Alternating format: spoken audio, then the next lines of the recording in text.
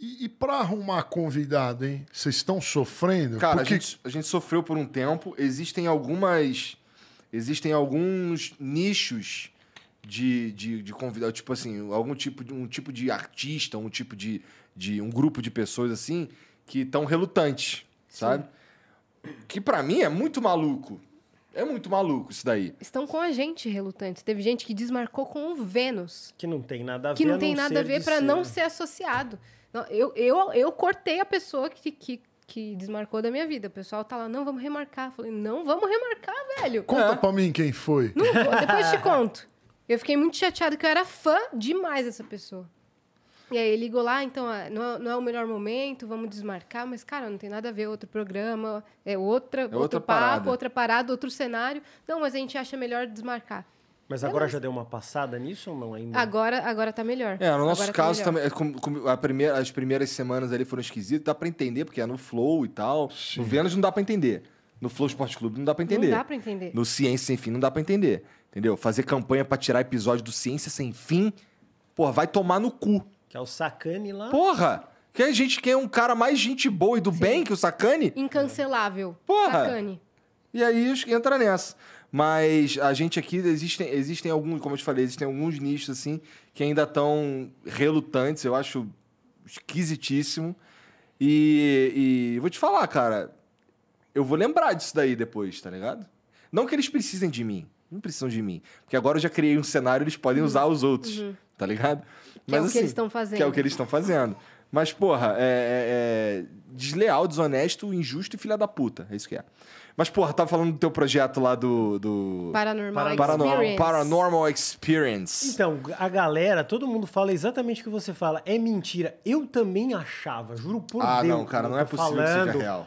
Aí a gente fez uma live de seis horas do cara falando de ET. Ah, E eu comecei a ficar com medo, porque o cara começou, o Edson Boaventura lá, começou a me mostrar os documentos, começou um cara, gente finíssima, mostrando as coisas. ele foi lá com um coletinho assim também? Foi, é, dos Flow ele caça- foi com é. coletinho. é. Cara, sensacional a quantidade de documentos que ele tem histórico. A gente foi o único podcast, a gente fala que nem é podcast mais, né? Porque agora pegou o ranço falar que é podcast, Aham. é uma experiência. É, ele demonstrou várias coisas lá e eu comecei assim a, a ficar um pouco assustado com a Operação Prato. Tô ligado. Operação Prato, cara. Estudem isso aí, vocês estão. Procurem no Google, se quiserem ver lá no Paranormal, vê lá. É, o, o negócio do ET de Varginha Aham. foi sinistro. E a galera sempre faz o que faz aqui no Brasil. Entendam, a, a audiência tá alta, eu vou falar um negócio sério. Faz uma palhaçada e o sério fica escondido. Só que a galera leva, ah, ET Bilu, busquem conhecimento, aí bota um carinha no mato, busca conhecimento, com a vozinha lá parecida com a do Zé Graça, não sei o quê. Mas puta besteira. Só que eles escondem, levam para a 51 e só os, os, os, os importantão lá ficam falando. Até aqui os caras do Brasil, sabe? Mas ninguém fala. Esse lance do ET de Varginha, eu conversei recentemente com um cara do, do, do, do Nerd Show. Uhum. Ele tem um canal que ele, fa ele, fa ele fez também alguns vídeos nos documentários, umas paradas assim, curiosa, barra mística, barra, sei lá, sombria, misteriosa. É, e ele, tava ele fez um sobre o ET de Varginha. E ele falou que no dia, assim, o fato, é, é fato que no dia o exército estava na cidade. Fato que no dia é, tava rolando umas, umas, trans, umas, umas pessoas, algumas caravanas entre hospitais para transportar algumas coisas, tá ligado? Mas, porra, é, não tô descartando que seja um ET, mas assim, é, quanto ao Edson mesmo, tem umas paradas assim que ele, que ele falava, que assim, eu também não tô, não tô dizendo que é mentira, mas, pô, imagina, existe um outro jeito de olhar. Por exemplo, ele fala, pô, eu ligava lá pra aeronáutica pra falar sobre a operação 347 de não sei o quê, e o cara falava que não existia. Aí imagina o cara lá na aeronáutica assim, caralho, não tem essa porra dessa operação, esse cara tá enchendo o meu saco. Eu tô falando que não tem essa operação, o cara tá falando que tem e que eu tô encobrindo, mas não tem.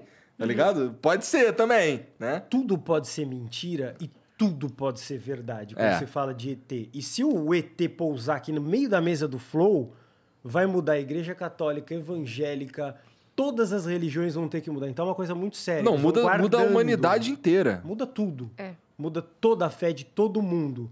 Porque aí o ET vai falar E a gente já levou lá a Mônica de Medeiros, que é fantástica, que foi o episódio áurico lá, e ela tem um contato direto com o extraterrestre Que lá. pira, cara. É, é muito legal, muito legal.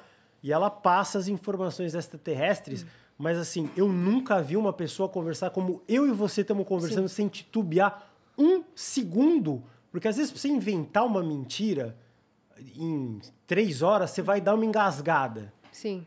Eu perguntava, o que, que acontece lá? Pá, pá, pá. Ela respondia tão rápido. E, aliás, E ela, séria, né? é, e parecia que ela, ela já meio que lia o que eu ia perguntar. E olha que eu falo rápido. E eu falei, eu nunca vi uma pessoa que pensa mais rápido do que eu. Ela falou, tô tendo a ajuda dos extraterrestres. Aí eu fiquei meio assim.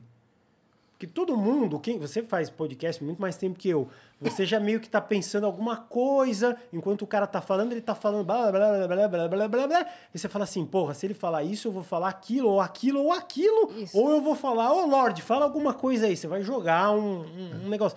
E ela falava numa velocidade que, olha, que se não for um, um, um ET, ela tem um bloco de notas, assim, absurdo na Pode estar cabeça muito bem dela. ensaiado também, né? Pode. Pode. mas- Pode tudo, mas naquele caso parecia não ser. Uma, uma coisa que me deixa muito triste no, no caso do ET de Varginha e, e os ETs é que o ET de Varginha ele, ele é brasileiro, né? Ele é, ele é, ele é feio, ele é- tem cara de pau. O ET, o ET americano, os ETs, quando são lá nos Estados Unidos, eles têm cara de rico, são bonitos. Eles têm curvas, Bonito, aí você linhas. exagerou. Eles têm linhas arredondadas. O, o, o ET de Varginha é quadrado, parece que foi desenhado mal feito, assim. Jogado no lixo, Os amassado, ETs americanos- atropelado. São muito melhores do que os ET de Varginha. Tu é muito ô, chupa-saco muito de americano. melhor. É, Ô, Lordão, Ele é Hollywood Lover. Falando do ET Bilu e o BiluCast lá. Ah, toquei num triste, ponto hein? triste. Muito triste. Eu fiz três podcasts depois do, do Guru. Fiz mais três podcasts. Todos fracassaram. Me dá vontade até de chorar. mas, não, eh, mas não fracassaram com cancelamento igual vocês. Vocês tomaram um tiro aí, um, um- uma... tomaram um strike. Os meus se fuderam Naturalmente. naturalmente, com o meu dom artístico. Né? Eu dei o melhor de mim e ninguém queria assistir. Ninguém queria assistir. Porra, mas tu tentou quantas vezes? Três. Tentei três vezes. A construção do Flow, cara, até a gente virar, tinha mais de 200 episódios, cara. Não, de Não, episódio não, tem, tentou tem. É. três canais diferentes. Aí eu falei, eu não, não sirvo pra ser artista, não. Vou continuar tocando piano aqui. Mas tocar piano não é ser artista? Não é, mas é um outro tipo de arte. Tá. eu- porque o que, que acontece? Não desmerecendo vocês e todos os outros podcasts que tem por aí. Mas eu sempre digo que o, o eu queria uma coisa que eu não tivesse que me esforçar para fazer. Então, conversar com alguém é mais fácil do que tirar uma música do Chopin no piano. Porra! Eu demoro três meses para tocar um estudo do Chopin. Demo- Estudando pra caralho. Agora, conversar com os outros, eu não gosto de conversar. Eu falo abertamente. Eu não gostava de fazer podcast. Sim. Eu queria cascalho. Tinha uns Então convidados que você quero- gostava, que você ficava curioso, mas outros você Alguns. cagava. Não, a maioria dos convidados eu não gosto. Eu não quero saber do que eles. Não quero saber da vida de ninguém. Então eu tinha que Porra, tá conversar. explicado, né, cara? Porra. Aí, Então- Brasil, Brasil, por que o Master acabou? Eu tenho. Que nem o, política. O podcaster não queria conversar com o convidado. Eu odeio política, mas eu odeio, eu odeio política. Não tem nada que eu odeie, que eu odeie mais do que política brasileira e mundial, tá? Que agora tá na moda a po- política internacional também. Elas são nojentas. E se você ficar prestando atenção em política, você não consegue trabalhar direito. Você não faz as coisas que importam. Porque é um baile. A política é um baile. Quando eu trabalhava no Pânico, eu conheci todos os políticos brasileiros lá, todos os candidatos. E vi que é um, é um baile. Isso é um baile. Eu já sabia, mas lá eu tive. Então, é, conversar com os outros é, é muito chato, na minha opinião. Aí, você que tá assistindo esse vídeo aqui no Talk Flow, é... se liga, olha só. Primeiro que você pode se tornar um membro, e aí você pode se tornar tanto um membro, bur- membro burguês quanto um membro humilde. E aí isso tem uma diferença aí no que você vai ganhar de volta. Desconto na loja, uns, uns adesivos que a gente manda e por aí vai, tem várias paradas.